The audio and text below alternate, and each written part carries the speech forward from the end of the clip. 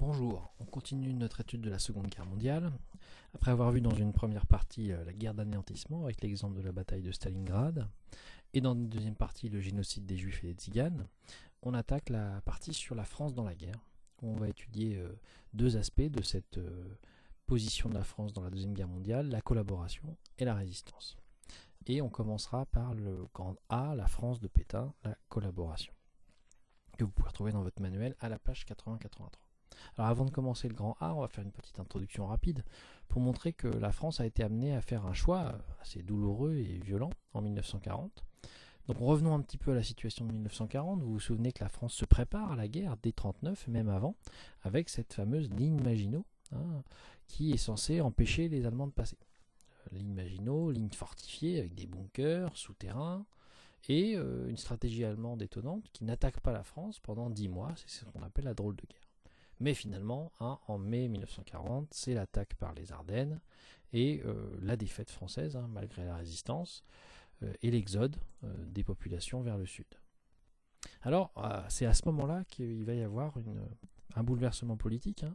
Le, président du Conseil, Édouard Daladier, va laisser son gouvernement à un chef militaire qui est Philippe Pétain. Alors, Philippe Pétain, qui est le maréchal euh, de France, c'est-à-dire le général le plus gradé, le général des généraux, reste dans l'histoire comme le vainqueur de Verdun, hein, et puis le libérateur de l'Alsace et de la Moselle, en 1918. Donc euh, personnage extrêmement célèbre, euh, apprécié de tous, hein, qu'on avait retrouvé dans les journaux. Et c'est lui qui va être nommé président du Conseil en juin 1940, pour finalement sauver la situation. Alors, ce personnage-là, très populaire, on va en reparler, s'oppose à un deuxième personnage, complètement opposé. Ce personnage, c'est euh, le capitaine de Gaulle en 1915, qui viendra colonel de Gaulle ensuite, et qui est colonel en 1940. Alors ce personnage-là, euh, euh, beaucoup moins gradé que Philippe Pétain, était un personnage qui était assez critiqué par ses supérieurs parce qu'il est un peu parfois un peu irrespectueux de la hiérarchie, on va dire. C'était spécialisé dans les chars d'assaut. Hein. il commandait une section de chars d'assaut et c'est un des seuls d'ailleurs avoir gagné des batailles contre les Allemands en 1940. Il a d'ailleurs été pour cela félicité et nommé général, hein, jeune général en 1940. Et il intègre d'ailleurs le gouvernement très rapidement, hein, puisqu'il devient ministre. Et il sera donc sous l'autorité de Philippe Pétain quand il va prendre le commandement de la présidence du Conseil. Or, Philippe Pétain va l'envoyer euh, le, le 16 juin en Angleterre pour euh, négocier avec les Anglais. Et le 17 juin, le maréchal Pétain annonce euh, ce fameux appel hein, où il déclare qu'il va faire l'armistice avec les Allemands. Le lendemain, euh, le général Charles de Gaulle, qui est toujours sous l'autorité de Philippe Pétain, décide de, finalement de refuser cette autorité et annonce à son tour dans un discours, le 18 juin, le célèbre appel du 18 juin, qu'il faut continuer la guerre aux côtés des Anglais. Donc il refuse finalement d'obéir à son chef. Ce qui est étonnant pour un militaire. Hein. Alors, euh, ce qui est intéressant, c'est que lors de euh, ce double discours, les Français ont eu à choisir. Alors en fait, le choix était rapide, puisque le discours du général de Gaulle, la plupart des Français l'ont pas entendu. C'était sur la BBC, la radio anglaise, hein, puisqu'il était en Angleterre, et bah, peu de Français écoutaient la radio anglaise, hein, pas plus qu'aujourd'hui. C'est finalement euh, Philippe Pétain qu'ils entendent massivement et en qui ils ont toute confiance. N'oubliez pas que Philippe Pétain, c'est l'ancien vainqueur de Verdun, donc euh, qui s'est battu contre les Allemands, à qui on ne peut pas reprocher d'être pro-allemand. Clairement non. Donc on va lui faire toute confiance. Alors que personne ne connaît Charles de Gaulle, même ceux qui l'entendent hein, ne savent pas qui il est. Donc il n'y a pas de raison particulière qu'on lui fasse confiance à ce moment-là. Donc les Français vont très massivement soutenir euh, Philippe Pétain pour la signature de l'armistice le 22 juin à Rotonde. Célèbre armistice, vous savez, où euh, Adolf Hitler exige de faire revenir le wagon qui avait servi à l'armistice euh, en 1918 pour qu'il puisse le signer au même endroit.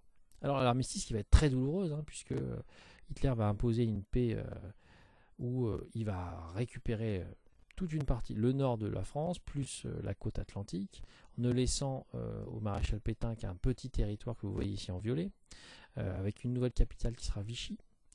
Une grande partie de la France est sous contrôle allemand, hein, une partie même annexée, bien sûr, l'Alsace et la Moselle, et puis une partie aussi euh, sur la frontière italienne annexée par les Italiens, avec une occupation italienne aussi. Donc finalement un tout petit territoire donc, et une lourde somme à payer finalement l'entretien des soldats allemands.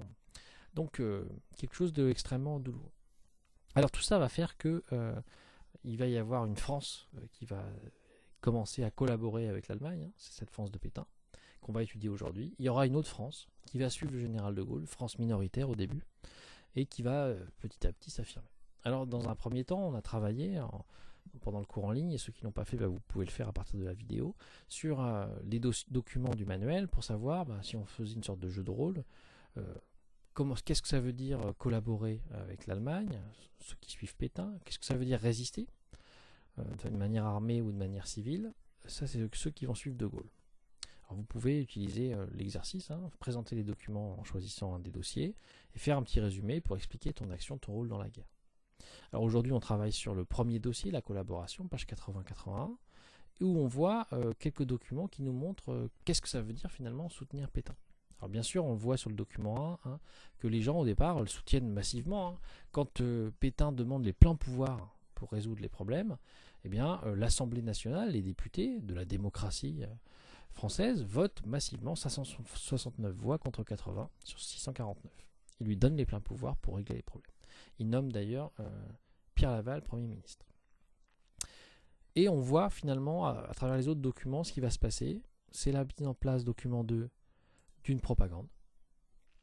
Et puis, euh, document 4 et 5, d'une collaboration économique et d'une violence. Et si je vous dis propagande, collaboration, euh, économie et violence, bah, on va retrouver finalement l'activité que vous avez sur la fiche, que vous trouvez sur le cours en ligne, c'est-à-dire les caractéristiques d'une dictature qu'on avait étudié ensemble pour Hitler et pour Staline. C'est ce qu'on va essayer de voir maintenant. Alors commençons par la propagande, donc je vous invite à compléter le tableau en prise de notes. Euh, cette propagande, euh, elle se manifeste par évidemment euh, des affiches, bien sûr. Donc énormément d'affiches qui vont mettre en avant un certain nombre de symboles. Hein. Vous savez, comme pour Hitler et Staline, la propagande se basait sur des symboles, on va les retrouver. Donc premièrement, euh, Philippe Pétain, c'est un vieil homme, hein. donc on va plutôt mettre en avant sa sagesse, le fait qu'il dise la vérité, qu'il ait une meilleure connaissance que les autres du sujet. Donc connaissez-vous mieux les problèmes que lui? On voit bien que c'est une période de problèmes. Hein.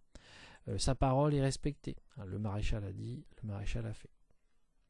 Donc des affiches euh, qui demandent d'avoir confiance. Euh, cette confiance, elle va passer par euh, très vite la manipulation des enfants. Donc on va retrouver dans les manuels scolaires, bien sûr, la figure du maréchal Pétain. Et là, on va commencer à voir des symboles qui sont liés au maréchal Pétain. C'est-à-dire, bien sûr, le drapeau français qu'on conserve, hein, mais une nouvelle devise. Ce n'est plus liberté, égalité, fraternité.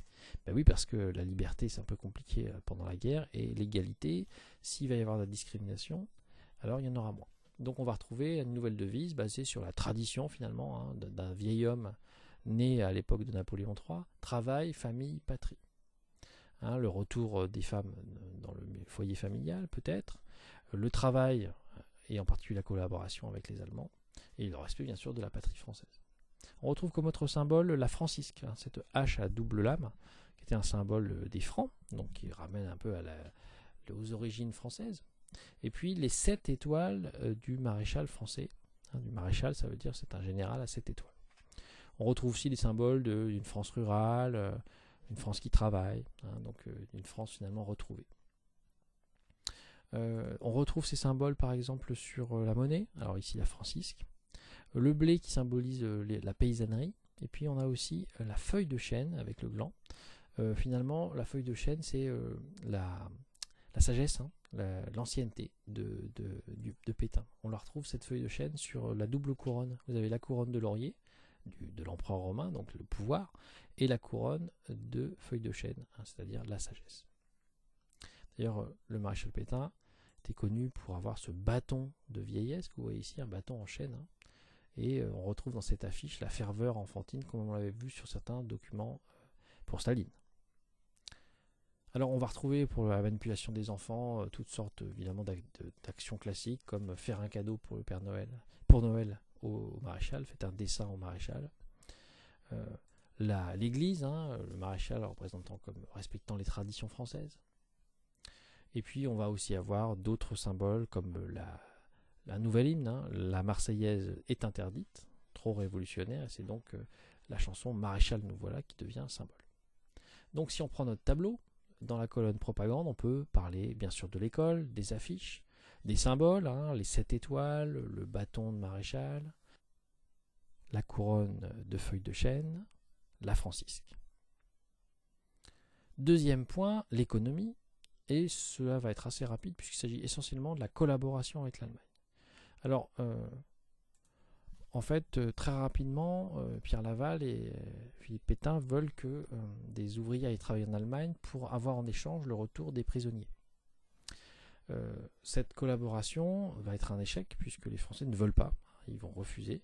Et donc à partir de 1942, on va créer le service du travail obligatoire, STO, service du travail obligatoire, et donc les jeunes Français seront obligés de partir, hein, sous peine évidemment de sanctions graves pour aller travailler en Allemagne pour permettre la relève, ça veut dire le retour des soldats prisonniers. Alors ça, va être très impopulaire hein, et ça va d'ailleurs avoir des effets importants sur la résistance. Beaucoup de Français vont refuser. Ceci dit, d'autres vont accepter hein, et même certains Français vont aller plus loin puisqu'ils vont s'engager dans les légions de soldats allemands, euh, légions volontaires français, qui vont intégrer l'armée allemande, voire certains qui vont devenir SS. Donc évidemment, euh, ce qui nous amène à la troisième partie, la violence, et une violence essentiellement antisémite. Alors cette violence, elle est euh, liée à la police politique, la milice, hein, qui est, euh, comme dans toute dictature, bien sûr, la police politique indispensable, hein, la Gestapo allemande, vous connaissiez, le NKVD soviétique, et donc la milice française, qui va avoir pour but de lutter contre le communisme, mais pas seulement. évidemment, beaucoup de lutte contre le communisme, mais aussi beaucoup de violence contre les juifs. Alors, l'antisémitisme se développe. Il était très présent en France, on avait vu ça en quatrième avec l'affaire Dreyfus. Euh, disons que Pétain va encourager l'antisémitisme, d'abord par euh, une propagande, donc euh, des, livres anti-juifs, bien sûr, des expositions, comme l'exposition Le Juif et la France, donc des affiches de propagande où on va retrouver le Juif comme euh, l'ennemi de la France, à côté du franc-maçon, de De Gaulle, du mensonge. Hein. Euh, les bobards juifs sont à côté de communistes, étrangers, gaullistes et maçonniques, donc évidemment une propagande. Mais pas seulement, hein. on va aussi avoir très vite une législation. Donc on va recenser les juifs très vite pour leur demander d'être reconnaissables, avec bien sûr le port obligatoire de l'étoile jaune, comme en Allemagne. Euh, des persécutions, ça veut dire qu'en tant que juifs, ils n'ont plus droit à certaines choses, certains lieux sont interdits aux juifs, certains métiers. Euh, si vous voulez exercer un métier d'autorité, enseignant, juge, vous devez certifier que vous n'appartenez pas à la race juive, ce qui fait que les juifs sont considérés, considérés désormais comme une autre nation, comme en Allemagne. Finalement, il y a un copier-coller des lois de Nuremberg de 1935 en Allemagne. Euh, les juifs doivent donc, remplir un certain nombre de conditions, hein, euh, présenter des pièces d'identité. C'est ce qu'on appelle le statut des juifs.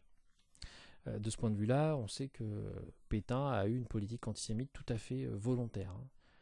Hein. pas seulement Pierre Laval, mais Philippe Pétain aussi. Donc concrètement, les juifs désormais ont une carte d'identité spécifique. Hein. ils sont considérés comme des étrangers surveillés. Ils perdent la nationalité française et ils doivent porter l'étoile jaune. Alors ça, évidemment, c'est la première étape euh, de la violence, donc euh, recensement, persécution. Et puis la deuxième étape, bien sûr, c'est euh, les arrestations, la déportation. Alors la date à retenir, c'est le 16 juillet 1942, où il va y avoir ce qu'on appelle la rafle du Vélodrome d'hiver. Vélodrome d'hiver, c'est c'était un grand, un grand lieu sportif où il y avait les courses de vélo, vous le voyez ici. Sauf qu'à partir du 16 juillet 42, on arrête massivement les juifs et on va donc les enfermer dans euh, les faire arrêter par la police française et ensuite les enfermer dans le vélodrome d'hiver où ils vont être parqués avant d'être déportés euh, vers Auschwitz pour être gazés hein, pour la plupart ou mourir dans d'affreuses souffrances lors de, dans de mauvaises conditions à cause de, du travail dans les camps euh, de concentration. Donc clairement, hein, une politique active de déportation, avant même que les, euh, les, nazis le demandent. Ce qui fait qu'on peut résumer notre travail. Hein. Propagande, on l'a évoqué, avec euh, les symboles du maréchal, hein, la manipulation par l'école et par les affiches, la radio aussi, hein, Radio Paris en particulier. L'économie, c'est surtout le service du travail obligatoire en 1942. Et la violence, c'est celle de la milice, euh, qui fait arrêter les résistants, les communistes, et puis surtout la violence antisémite avec les lois, statut des juifs, et les arrestations avec le, la rafle du vélodrome d'hiver du 16 juillet 1942. Vous noterez au passage qu'en 1942, il y a à la fois le STO et la rafle du vélodrome d'hiver, et ça, ça va avoir un effet important, c'est que la population va petit à petit euh, remettre en cause la légitimité de Philippe Pétain et commencer à douter de finalement de la, la véracité de son propos. Et euh, la résistance de De Gaulle va commencer à gagner en, nombre de personnes euh, à partir de ce moment-là. 1942, c'est vraiment euh, le tournant pour la France, comme d'ailleurs pour la Deuxième Guerre mondiale en général. C'est ce qu'on verra dans notre prochaine séance. Je vous remercie.